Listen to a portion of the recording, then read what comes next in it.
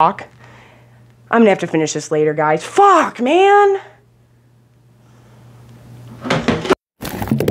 Even fucking better.